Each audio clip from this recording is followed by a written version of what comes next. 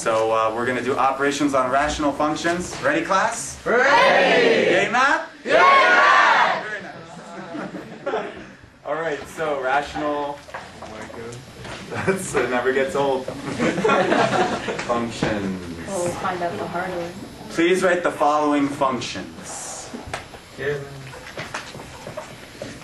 f of x equals x squared plus 5x minus 1.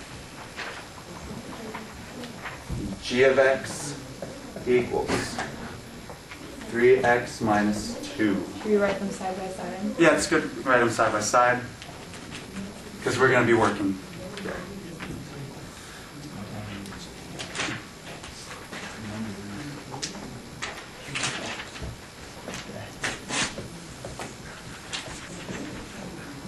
Okay, ready to yay math our first thing. Woo. It's pretty easy. Thank you for that. Okay. So it goes f plus g of x. That's how you say it. f plus g of x. Are you combining those? We're going to basically add the two functions together. It's a new formula. So the way, this is how it's going to be, this is how it's going to be given. What it really means is this. It really means f of x plus g of x. So It follows the distributive property rule. So it's just code. You know, books and stuff, they like to give you code and like, they like to confuse you. And as a teacher, I like to confuse you too. Well, maybe not if I'm filming something. That'd be pretty bad. But uh, yeah, so this is confusing. This is not confusing because, right? Can you do it? Yeah. I'm just gonna write x squared plus 5x. Why did only one person say yeah? Yeah. Okay. And uh, Combine like combine like terms and we're done. So No one. equals x squared plus what? 8x. 8x Yes. Three. minus 3. Yeah. Okay, what do you think's next after f plus g of x? Factor. Minus G of X. Yeah, f minus g of x. Yay, math. Someone ate their Wheaties. What?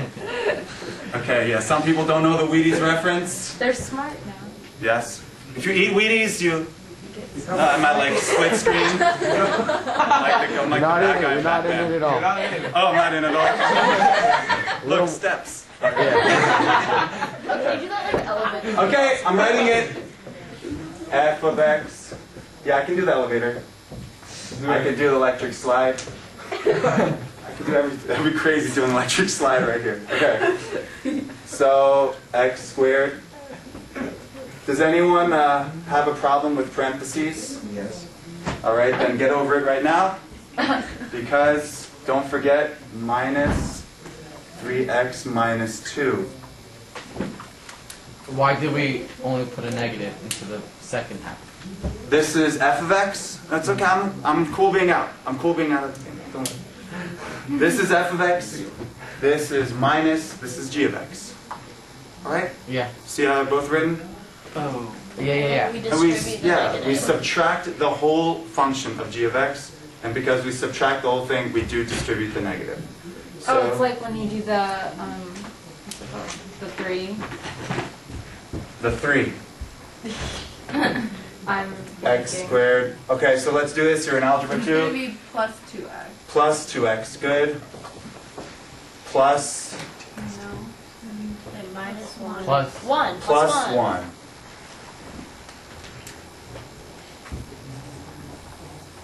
Is that it?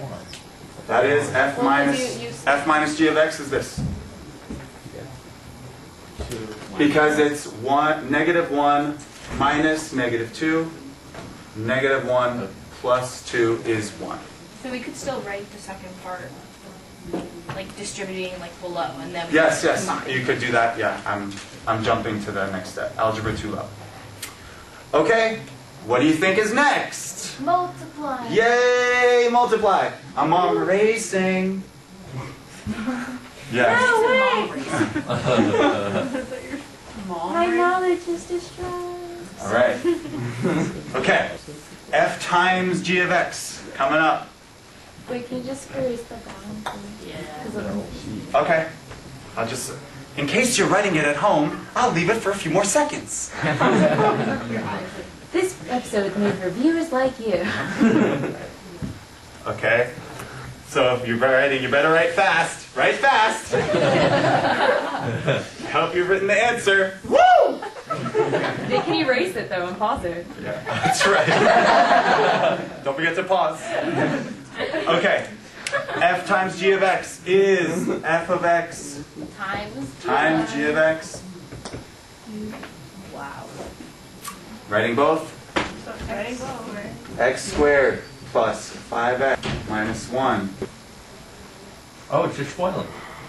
Yeah, FOIL is, is for two uh, binomials. These are polynomials. But it's the same concept. It's distributive property going crazy. So, let's carry this x squared. I mean, there's a multiple ways to do it. But do x squared, right, times 3x, x squared times negative 2. Oh, So that's 3 x cubed, x cubed minus 2x squared. And then we'll take the 5x, 15x squared, minus 10x, good. Negative. Negative 3x, plus 2. Okay, combinos of like termes. So X squared. same. Um, 3x cubed, minus negative 2 plus 15, plus Thirteen 13x. minus 13x plus 2. It, it's, it's calculation heavy, but it's very straightforward if you know what you're doing. Wait, how is it plus 13? Plus 13x squared, negative 2x squared plus 15x squared Ah. makes 13x squared.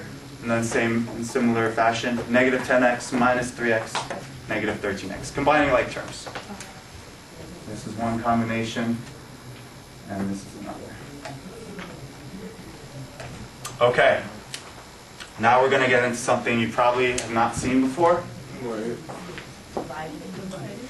Well, dividing is, we could do with synthetic division or something. All right, we're not, that's not the priority. We're going to do f of g of x and g of f of x. You'll see what I mean. Okay, so pause it at home if you need to. Emma. I need to. Just kidding. You blew up my spot. Oh, how long are you gonna stand there? You're wasting like video. I know. Oh. Okay, this is a two. Okay, here's the thing that they do in the book that's meant to confuse you. Success. Looks like fog. Yeah, it looks like fog. It's really, it means f of g of x. So why would it be F? That's kind of, maybe that's what the O is. So it's like fog. Yeah. F of g of x is the equivalent to f of So you can tell us to fog it for now on. Fog it. g of x. All right, so hold this thought for one second.